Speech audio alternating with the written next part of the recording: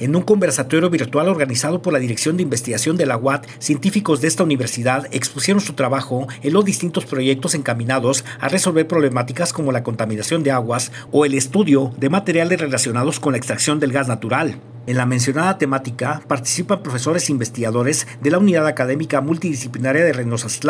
integrantes del Cuerpo Académico de Energía y Biotecnología, mismos que se relacionan con el impacto al medio ambiente. En el encuentro virtual, la docente Sofía Alvarado Reina detalló el trabajo que se realiza en las líneas de investigación en biotecnología aplicada y en el desarrollo y optimización para uso y aprovechamiento de la energía. Entre otras iniciativas del cuerpo académico se mencionó que se han desarrollado trabajos en las presas de Tamaulipas para determinar los componentes presentes en los peces, investigaciones que llevaron a esta casa de estudios a varios logros y a la participación en foros a nivel nacional en el área de contaminantes ambientales y el impacto en el medio ambiente. Otro de los proyectos mencionados fue el trabajo realizado para la elaboración de películas biodegradables a base de gelatina de pescado y quitosano contra glutaminasa, actividad del doctorado en biotecnología que se ejecutó con el propósito de establecer una línea para la obtención de películas a partir de la semilla de aguacate,